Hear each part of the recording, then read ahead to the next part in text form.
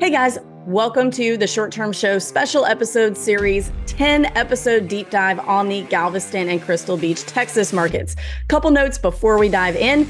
If you guys are looking for current income and current prices of properties in this market. You can get all of that info on our website at theshorttermshop.com. You can set up searches just like you do on Zillow or realtor.com, all those places. And we do have all the income data as well. So be sure to check that out. Also, make sure you check out our other special episode series. So we have 20 markets that we operate as real estate agents in, and we have 10 episode series just like this one on all of those. Make sure to check out the short term show as well as the short term rental management show. And be sure to join our Facebook group. It's called Short Term Rental Long Term Wealth, same title as my book.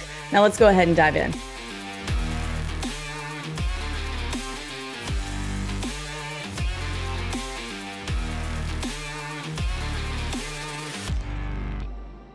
Hey guys, welcome back to another episode of the Short Term Show special episode series on the Galveston and Crystal Beach markets. Today we're going to talk about the contract process. So there's a lot of content out there about what to look for in a house and how to manage short term rentals, all that. But there's very little about what the contract process actually looks like. And that varies a lot from state to state. And it can definitely cause some friction and some uncertainty and make you nervous if you don't really understand what the process is and what things look like. So, we are going to go through that today so you understand when you go to make an offer with your agent exactly what to expect and to help me do that, I have the top agent of not just the short term shop, the top agent in the entire market in the Galveston Crystal Beach market, Kelsey Arduin, to help me do that. Hi, Kelsey. So today we're going to talk about the contract process. So let's say we found a great house. We think we want to make an offer on it. So let's talk about what the terms of the contract are. So, you know, I, we've come up with a price that we're going to offer. We're putting that in the contract. So, the first thing that we're going to have to do is send in our earnest money and decide how much that is. Sorry, I just hit my mic. It probably made a noise. So, what is the standard earnest money amount in this market? We'll start there. So, to address what you said before, um, I am the top agent in terms of buy side in Crystal Beach. So, just to be accurate. Um, in terms of earnest money, uh, 1% is very typical. Nobody really wants more than that. And that earnest money is refundable as long as, like, let's say you were to get out of your contract.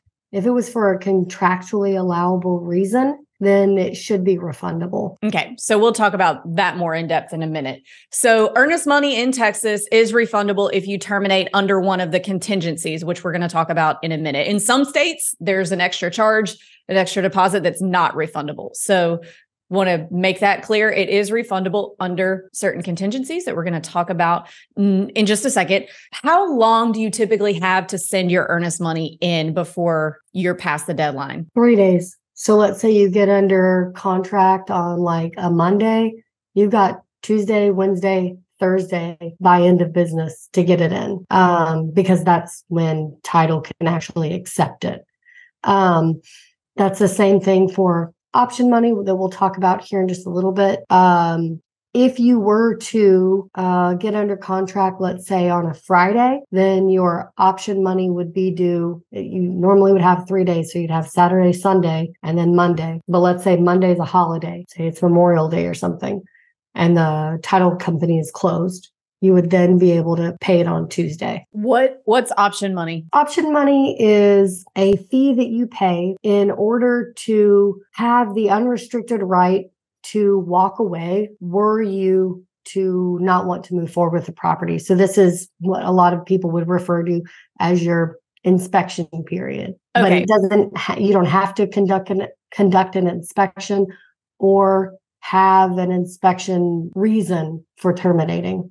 So option money is not refundable um, because you're it's a fee that you're paying for the right to walk away for any reason. Okay. So is the option money separate from the earnest money? Yes, but you can pay it all at the same time.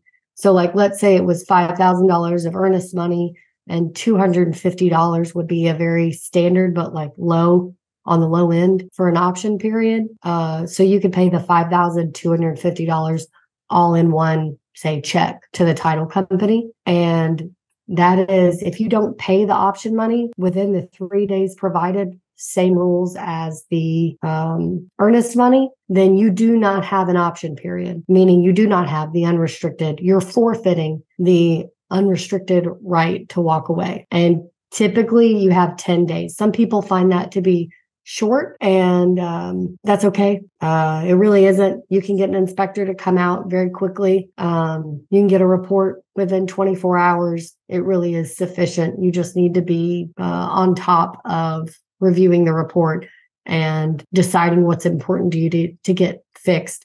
So everything has to be fully negotiated through the end of that time period. So in your 10 days by 5 p.m. Central Standard Time, on that 10th day, uh, whatever negotiations you're going to get is it. Okay, hang on. Let's back up just to the deposits again, really quick. Okay. We'll get into all that in a minute. So I'm confused now. So earnest money is different than option money. Yes. Yes. Do you have to do option money? No, it's optional. okay. So um, if we're doing earnest money only, then we have just a regular inspection contingency. And if there's something wrong with the inspection, we terminate, get our earnest money back.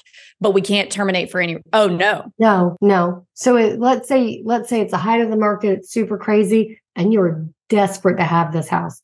I don't think I had anybody, I, I, don't recommend people do it. Um, and I don't think I had anybody offer where they waived their option period. That is your inspection time period. So okay. if you offer without an option period or you don't pay in a timely fashion your option fee, then you cannot back out for an inspection reason or any other random reason like the house isn't as blue as I thought. It's very okay. liberal, but if you don't pay for it or select it, that's not a contingency in the contract that you can use to get out of it. Okay. So you still have to pay earnest money, even if you select that option money thing.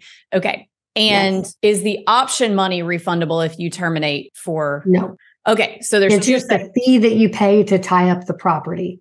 Okay. Two, you can pay them together. Uh, so you're not just like spending extra money on a wire or something like that but you they they serve two separate functions. One is the earnest money is to demonstrate that you're serious. And so you've got some skin in the game. The option money is your right to tie up the property for 10 days without being obligated to purchase it. Okay. So you're basically paying for your inspection contingency. But yes. now let's talk about are the is the option money due in 3 days also or is that due so they option money and Okay. So you pretty much you always want to be checking that option box and getting that option period. I can't think of any reason that would be a good idea not to do. I can't either and I don't recommend it. Um, I've specifically told people not to do it. Uh, and it's a default on my contract. So some things okay. stay the same. Uh, that one is uh, that's one that stays checked unless somebody somehow told me not to and I represent them. And if they don't want that, I would advise against it, but I represent them, of course. Okay, good deal. So now let's talk about the contingency itself. What so your option period is technically like your inspection period, but where that differs, I think, correct me if I'm wrong, from other states, is that in Texas, in that option period, you can terminate for any reason you want. You can go outside and say, It's raining. I'm going to terminate this contract and get your earnest money back. Whereas in uh, no, no, I'm saying like yeah, you don't have to have a real reason. Okay, you can just say never mind. Okay, you, you can just say never provide mind. like a fake reason. Gotcha. You gotcha. say I changed my mind. You, it's called the unrest. It's the unrestricted right to walk away. Okay. So you can terminate for any reason, whereas in other states in your inspection period, sometimes or in a lot of states, you have to have like a reason from the inspection that you're going to terminate for. So this yeah. is pretty cool. If you are a nervous buyer, then Texas might be a good place for you because you won't have to worry about losing a bunch of money uh, by changing your mind in that option period. I find it to be very buyer friendly. Cool. And so you kind of mentioned this earlier. Do so we get our inspection at some point during this 10 day option period and we start negotiating. So do we have to be, do we just have to turn in our first notification of, hey, these things we want to be repaired or get money off for by that 10 day? Do we just have to send our objections by then or we have to be fully negotiated and done by that 10 day? Everything. It's a it's a day it's a deadline. So while it is liberal in that you could walk away, it is a hard deadline that you have to have everything negotiated by the end by 5 p.m. Central Standard Time of that last day of the option period. Okay. So and what happens that? if you aren't quite done? Like, because I, I see a lot of people you know, we'll get to like 6 p.m. on the last day of the option period. It, does it expire at midnight or does it expire at close of business at like five or six? Five. Okay. So let's, okay. It expires at 5 p.m. That's important to remember because some states it's midnight, guys. So if you're getting under contract in Texas,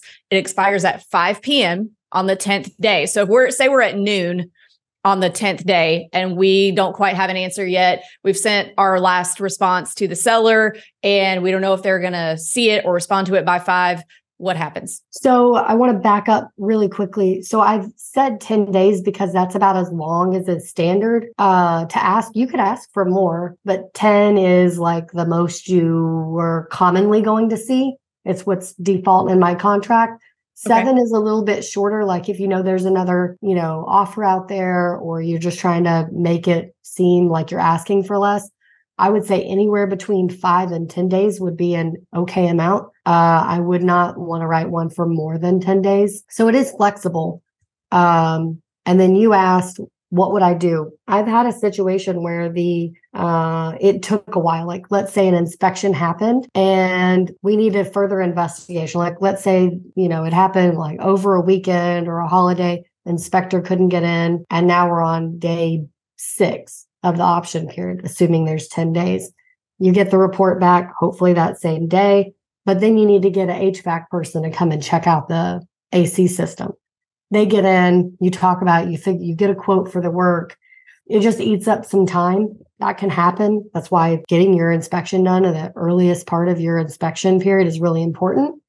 So you have enough time so you're not down to the deadline, down to the wire. Uh, but I've actually done it this way where I've sent uh, an amendment well, I actually I've sent a termination and I've sent a, a, amendment changing the price or listing out repairs that would need to be done. And I'm like, you you can accept either one. You can either like if it was really down to the wire, I've I've done it that way. I was like, you can take the uh, termination or you can agree to these repairs. So I know that we're covered and that they can get out during as per their option period. Okay. And let's talk a little bit about before we move on to other well let's well okay i just went a thousand different places in my brain and i'm actually going to stay exactly where we are so okay. pardon me but anything else that we need to go over in terms of the option period option money anything about that? One thing i would say is that for all of my buyers i give them a buyer's guide during our intro call and i get way ahead of this because i know that most of my people are buying either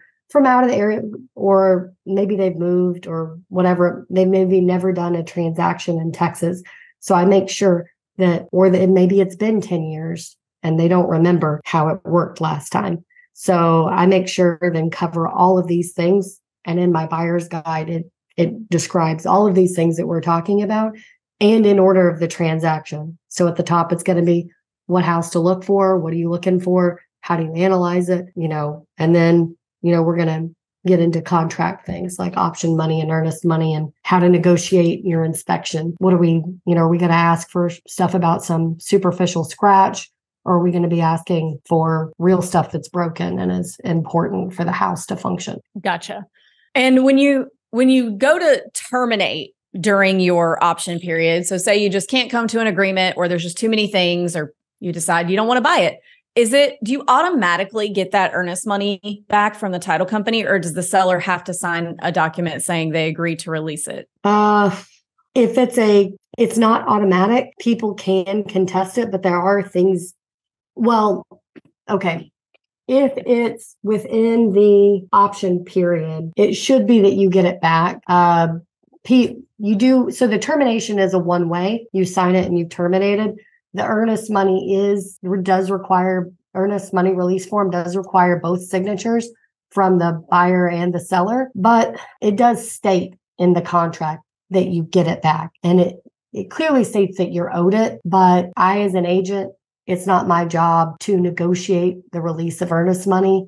Okay, I've n- I haven't had it happen where people argue about earnest money, and I've done plenty of deals um, but it, it does happen on occasion that people don't agree about an earnest money release and they have to get a lawyer involved. Yes, that's exactly what I was kind of getting at because you can't, as an agent, negotiate the release of earnest money. So just so everyone is aware, it can happen, even though if you're well within your contingencies, a seller can just like be pissed off and say, Well, I'm not signing this, even though we all know they're wrong. Uh, the only person at the end of the day who can decide who gets earnest money in a dispute is a judge, even if it is very clear that you are well within your rights to terminate. No, you can't just call the title company and convince them. It doesn't work like that in any state. So, um, and the seller usually what will happen in, when I've been in earnest money disputes is that eventually the seller cools off and says, "All right, fine, here, let's move on with our lives." I've never seen it actually have to go to court in 5,000 deals that the, the short-term shop has done. So it it probably won't ever go that far, but just know sometimes they will like give you a little static about terminating if they feel that you're being an idiot or something. Whatever they, you know, whatever they think it doesn't matter. Eventually, you'll probably get it back with a court, but every now and then you will get a little pushback from a, a mad seller. So, two things on that. Uh, there is actually a provision within the contract that says if you send a earnest money release demand, that's what it is, is a demand for the earnest money. When you send that earnest money release and the seller doesn't respond within like 14 days, then the title company is actually allowed. Like if they don't dispute it, they don't say, no, I'm not giving that. They don't respond at all. The escrow officer is allowed to distribute the earnest money back to the buyer. Oh, and okay. is released. And it specifically says in the contract that they'll be released of liability. Okay, because that is a little different than other states. Normally they're mad. And so they do say something back. but it's possible that if they just are ghosting you, there is a provision within the contract that says that the escrow officer can release it on their own. I have found that time heals a lot of wounds. Mm-hmm. And if the if the seller goes on to sell the house and the money was somehow in dispute, usually you can kind of hit up the title company later on because they're really not supposed to have those funds if the if the seller if the seller doesn't accept the funds it can't just sit in escrow for infinity. They'll do like an audit. They'll do an audit. so the money has to leave. The money has to go somewhere. And right. so either it has to get refunded back to the buyer or the seller accepts it. And when the seller accepts it they're releasing the buyer of all liability meaning you cannot be sued for specific performance. That means making you buy the house making you go through uh, fulfill your end of the bargain of buying the house like you said you would if they accept the earnest money. So sometimes it's kind of a limbo situation where it can sit for a while. And if they go on to sell the house, they can't sue you for not buying the house because they don't own the house anymore. So they can either decide it's not a big deal anymore because I already sold the house and give you your money back, or they can accept it and you know you'll never be sued for it. Gotcha. Okay. That makes a lot of sense. And I think this is really good stuff to make sure that buyers understand. Uh, let's talk about furniture for a second. So, how do you address when a property is coming fully furnished? Do you have to do like a separate bill of sale or can you put it right on the contract in Texas? There's a non realty item addendum, and probably for the first year and a half, uh, and it was like a, I don't know if it's a TREC or a Texas Realtors form. I think it's a Texas Realtors form. Um, and you could you would put a checkbox in the additional forms and list it. Uh, probably in the last six months, I switched to doing a bill of sale that operates outside of the contract because occasionally a lender would get their you know knickers in a twist on it and they they didn't want it and then it, you kind of end up in this weird limbo where you've already said that you plan on buying the house with all the furniture and then you have to like take it back and then you have to hope that they are, are fine with saying like oh yeah they're not going to buy the furniture after all. But the reality is that they are. So i, I mm-hmm. um we do a bill of sale outside of the contract now. I do as standard just to avoid sidestep that whole issue. Yes because it can become an issue I don't want it to become an issue. Right. Uh, I think it could blow up a deal. And so we just avoid it entirely on the off chance that somebody doesn't like it. And I know with lending tightening up, that was when I first saw it happen. Lending was kind of tightening up and investors were getting nervous about the idea of the furniture, which is removable from the property, um, being removed after closing. And suddenly the house is not, they think, worth as much as, you know, like the loan on the property or something like that. So there's some nervousness around it, but there's not a there's not a huge difference in price. People don't want to come down and remove a whole house full of furniture out of their beach house, and it's usually beachy furniture. So it's like, what are they going to do? Go replace their couch at home? And it's yeah. I've found that that works well. Like when people try to say, "Oh, well, I want fifty thousand for my shitty furniture that's been, you know, in here for two and a half years and it's beat up." If you tell me, okay, we don't want it, like we just don't want the furniture, instead of trying to negotiate the price of the furniture, just say, okay, that's fine, we don't want it if you play a game of chicken with them like that, you are probably going to win as a buyer because Kelsey's right. Like, who has time to go get a whole bunch of furniture out and then try to sell it independently? And then nobody wants to do that. So that's my pro tip too. Just tell them you don't want it. If they're not including it in the sale price and they want to try and like bang you up for a few grand, just tell them I don't want it. You'll probably end up with it for free. and I would say so there's two things here. So generally speaking in this market, the houses are furnished unless it's a new construction and furnished, unfurnished, there's good and bad things about it. So if it's completely unfurnished and you're working with a blank slate, and when you go on day one and you move your couch in, guess what? There's a spot to put your couch. Uh, if it's furnished and you're getting rid, like you don't want to use 50% of the furniture, then you get to move somebody out halfway and then move you in. So there's, I really, I caution people when they're buying and I comment about it in my walkthrough videos. Like if something looked way better in pictures than it does in person, like if the couch looks really worn out, because the pictures could be from, you know, a year ago. Uh, I point out like, you know, that's not going to be something you keep. I would say genuinely look at a picture of a room and ask yourself, what will I keep in this room? So you can run your numbers uh, in a realistic way like if you like the bed, but the nightstands and the lamps are like apartment size, you're probably not keeping that. So be realistic about what you're going to do when you get in there. Awesome. Um, there was one other thing related to oh, disclosure. So, what is a seller required to disclose on a property in Texas that they have not been living in? So, it's either an investment or a second home. Do they have to do the whole extensive disclosure thing, or do they just say, oh, we haven't lived in there's like an exemption form for that if they haven't lived in it. There is, if you've personally owned it, then you have to do one, regardless if it's a second home or um, or, or you it was a primary residence, it's the exact same disclosure. There's a so TREC is the governing body of realtors in Texas. They have a more uh, bare bones version of the form uh, seller's disclosure form. Uh, Texas Realtors has a more in depth version you're only required to produce the TREC version of the form. I find that most sellers and their agents use the Texas Realtors form, which is the more comprehensive one. And it'll, you know, it's a lots of check boxes like, is it a gas or electric stove? Is there, you know, what kind of uh, AC system it is? And then you check if it's, you know, you write in how many units it is uh, what floodplain, like what is it in a flood zone? If so, which one? Uh, has it had previous flooding of the property? Have you had insurance claims? It's it's pretty extensive. Okay, good to know. So they have to disclose everything. Yes, and there's an additional form. So if you check yes, so at least half the properties in the area are on a septic system, and if you check that you have a septic system, then you additionally have to fill out a form. Now, a lot of times because they're second homes, and these people aren't really maintaining them a lot of times themselves or they bought it two years ago and they haven't had to do anything with it a lot of times they don't know a lot of things about their house or about their septic system. So uh, seller's disclosure only contains the information that the seller knows. If the seller doesn't know they can't disclose it. So that's all right. Good and bad things about a seller's disclosure.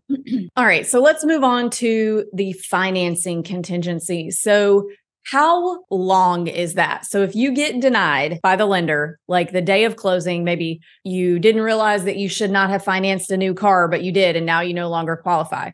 Do you get your earnest money back? So there's a in the third party financing addendum, which is like a supplemental form. It's checked off on the contract to make sure it's included.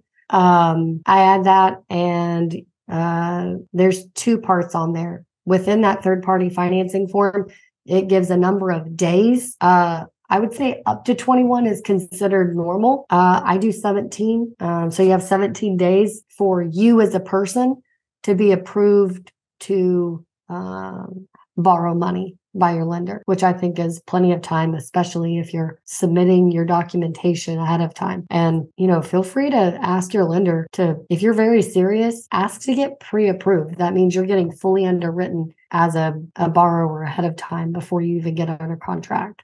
Um, and then you asked, oh, within that same form, uh, it's assumed, unless you complete a different form, I do, um, that the house must meet appraisal. So it has to at least appraise for, uh, they call it property approval. But what it means is it's an appraisal contingency. So if you were under contract at 500 and the property, we don't have appraisal issues really. Uh, if it came back at 490, you're not obligated to buy that house. Now, uh, a lot of times you can meet in the middle. So let's say that were to happen, you would have, you're not obligated to buy it and you would get your earnest money back. You should in that situation. Um, but it, you know, same thing applies before. It's not automatic, but you should get it back. Um, you can meet in the middle or not buy the house, or you can come out of pocket for the 10K above. So that would look like if the seller wouldn't agree and you were dead set on buying that house, that would look like you coming to closing with an additional 10K out of pocket to pay for the house. I haven't had that happen, but that's what it would look like. Okay. So, three things, well, four things could happen. Seller could come down to appraised value. That's the most ideal option. Yes. You could come out of pocket all the extra up to the contract value that it didn't appraise by. Not ideal. Or y'all could meet somewhere in the middle. Three or four, could you terminate the contract? You can just say, look at it and appraise. Never mind. And sometimes that financing contingency, like if the, I'm sorry, that appraisal contingency, occasionally that is used to terminate something when you didn't want to buy it because it's usually like the longest contingency. Okay. I haven't had to do that, but it happens. That makes Okay. So all that's pretty straightforward. Let's talk about your All right, so let's say we made it through our inspection, we've made it through our appraisal, it appraised, and we're coming up on closing. And there's what's called a final walkthrough. You guys have final walkthroughs in Texas, right? Yes. Okay. There are two people who can do a final walkthrough. And let me back up and, and explain what a final walkthrough is. So sometimes it's called a final walkthrough, sometimes it's called a final inspection. And what it is, is it's the opportunity for the buyer to walk through one last time and make sure the property is in the same or better condition as it was when you went under contract or when it was inspected. And it's not typically a time. I think a lot of people see that word final inspection and think that it's a time to go try and find more things that are wrong with it and try to to get that price down. That's not what it is. It's just to make sure that it's in the same shape. And who can do that final walkthrough for a buyer, Kelsey? So if you were to come into um, into town and you wanted to do the final walkthrough, let's say the morning of closing, I can take you to the property. I can walk you through the property. You can say, "Oh, yep, yeah, it all the furniture that was here when I saw it the first time or in your video is here. Um, oh yeah, I can see that they fixed the whatever it might be um, that we asked for during the repairs. And okay, let's go over to um, title and close. A lot of most of the time, people don't close in person. Mostly, people end up closing remotely and then coming into town after. But you are well within your rights to do so, and I'm happy to accommodate you. I can't just go to the property for you and say, oh, yeah, here's a video, and look, they fixed the this and they fixed that. I'm not a home inspector. I can't tell you that. Um, I am not qualified, and that I'm my errors and omission insurance doesn't cover that. Yeah. Um, well, I mean, I can tell a story about a mistake that I made when I was new because a lot of times buyers will say things like, "Oh, well, my agent in Ohio walked through for me, no problem." Well, your agent in Ohio put your, put themselves at a, a, big liability, and a lot of people don't realize that because you'll say, "Oh, well, can't you just walk through and make it make sure it's the same?" So I did that one time when I was new. Walk through, took a video for the for the buyer, sent it to him. He was happy with it, and a few weeks later, he called me wanting to come after me because there was some squishy floor around the toilet of one of the bathrooms that, you know, I didn't walk over there and sit on the toilet. I just videoed everything looked the same to me. And, you know, I there's there's really no way I could have known that or to even look for that because I'm a real estate agent. I'm not a home inspector. So that is the kind of thing you want to avoid by having yourself or your home inspector go do that walkthrough for you. The same home inspector who did the inspection the first time so they know what to look for and make sure that things are fixed or how they're fixed. Uh, but it, your agent is not that person because we just are not trained and licensed in any sort of uh, inspection or contracting or anything like that. The other thing I would say is that in the absence of, or if they don't want to spend the extra money for an inspector to come through, they can hire somebody like a cleaner or a handyman. So let's say in preparation for closing, they're very close to closing and they've been talking to say three cleaners. I often like to tell people, look, go hire one of them.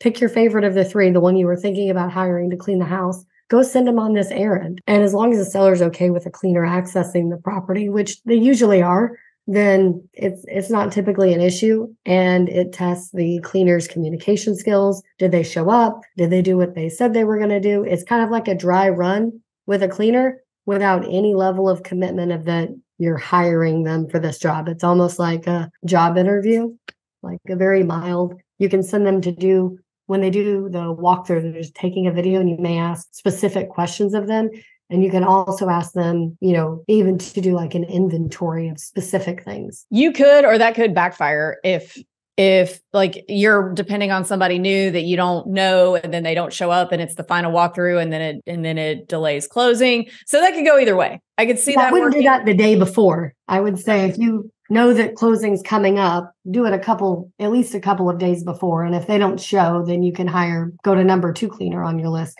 give yourself time for these things. Like mm-hmm. don't don't wait to the last minute for inspections, walkthroughs. You just put yourself in a bind and yeah, it can backfire for sure. 100%. All right, so let's move on to closing. So where I see some people get tripped up is they'll get a big U-Haul full of stuff that they're bringing and they plan on closing and staying in the property that night, the day of closing. So what can go wrong with that in Texas? It is a bad idea to show up. Uh, let's say they want to like close, they want to show up at two o'clock on a Friday and they've got all their stuff and they have no plan to stay elsewhere. They're planning on occupying the property when they leave the title company. If they close it, you know, they they come and they sign the paperwork at two. Uh, I do a really comprehensive job of making sure that all the ducks are in a row, but things inevitably can go wrong. Um, finding out ahead of time what your lender will allow. So are they going to same day fund? Are all of the funds from uh, the lender sitting at the title company waiting for just the signature, or is there a whole process that has to take place? And if it's a whole process, how long does that take? My recommended way of doing it is if you would like to show up on Friday, especially if it's like, say, after hours on Friday to occupy the property, close remotely on Wednesday. Give it early on Wednesday. Give it three days to fund, and it won't take that long. But you'll know for sure that when you show up on Friday or you're flying in, that's even worse than driving. You're flying in on Friday that you do have the, the couch that you're you plan to have arrive all these different pieces that are all have to come together just right that you won't have a couch arriving at a house that you don't actually own